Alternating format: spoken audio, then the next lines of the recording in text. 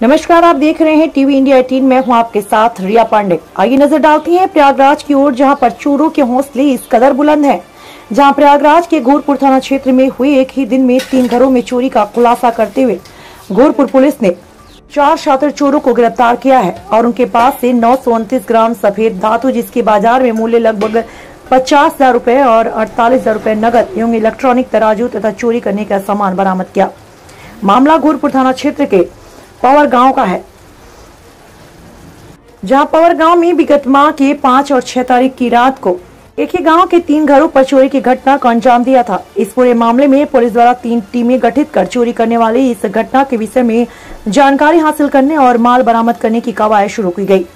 मुखबिर की सूचना के आधार पर विगत रात पुलिस टीम द्वारा छापेमारी की गई, जहाँ इस मामले में संलिप्त चार अपराधी मोहम्मद करीम उर्फ़ ननकू निवासी पूर्वाखास औद्योगिक नगर मोहम्मद ताजीम निवासी पूर्वाखास औद्योगिक नगर मनोज कुमार निवासी कर्मा घोरपुर तथा करण सोनी निवासी कर्मा घोरपुर को गिरफ़्तार किया। एवं उनके पास से नौ सौ उनतीस ग्राम सफ़ेद धातु सहित अड़तालीस नगद व चोरी की औज़ार प्राप्त किए।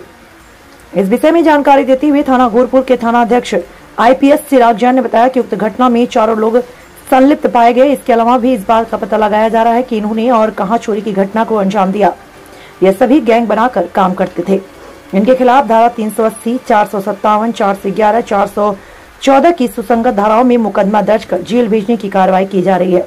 टीवी इंडिया टीम जिला संवाददाता हरिशंकर कुशवाहा की खास रिपोर्ट। दरअसल पाँच मई को एक सूचना प्राप्त हुई थी कि रात में लगभग बारह से चार के बीच में पवई गाँव में तीन घरों में चोरी हो गई। इसी संबंध में पैरी लिखी गई, मुकदमा दर्ज किया गया एक सौ चौंतीस छोटा पाई इसी संबंध में हमने एसआई उमाशंकर के नेतृत्व में एक टीम गठित करी और उन लोगों ने मुखबिर की सूचना पे तहकीकात कर करके पूछताछ से सीसीटीवी मैंने देखकर ये मुखबिर की सूचना पे आज बरामदगी की है। इसमें चार नफर अभियुक्त नौ सौ सत्ताईस ग्राम चांदी अड़तालीस हज़ार रुपये बरामद किए गए।